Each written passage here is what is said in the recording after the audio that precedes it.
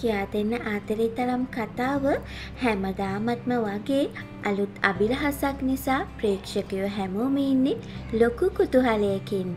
තවමත් ජීවත් වෙලා ඉන්න සමන්දනී රිදී මහලියත්තගේ පෙම්වතා ආයුෂ් ඒ කියන්නේ මිනායගේ තාත්තා. හිතාගෙන ඉන්නේ සමන්දනී මිය ගිහින් කියලා. ඒ වගේම සමන්දනී මිය ගියා කියලා සොහොන්කතකුත් තියෙනවා.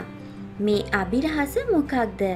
ඒ ගැන තමයි මම අද කියන්නේ. ඔයාලා දන්නවනේ ආයුෂ්ගේ තාත්තා කලින් හිටපු හොඳම හොඳ සල්ලිකාරයෙක්.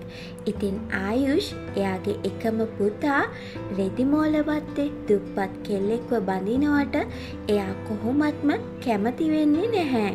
ආයුෂ්ගේ තාත්තා මුල ඉඳලම කැමැත්තෙන් හිටියේ රොඩ්නි රන්දනිය එයාගේ හොඳම යාළුවගේ සල්ලිකාරදුව ස්නේහට ආයුෂ්ව බන්ධන්න.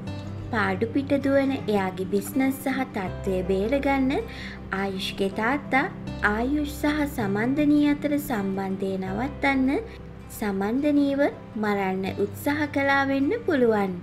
ඒත් ඒ හැමදේම රඟපෑමක් විදිහට සිදු කරලා කවුරු හරි කෙනෙක් සමන්ධනීගේ සහ මිනායගේ ජීවිතේ බේරගත්ත වෙන්න පුළුවන්. ඒ මිනායට චොකලට් ඇරගෙන වත්තට එන කෙනා වෙන්න පුළුවන්. සමන්ධනී කාටවත්ම මිනායගේ තාත්ත ගැන නොකියන්නේ මෙන්න මේ අභිරහස නිසා වෙන්න පුළුවන්.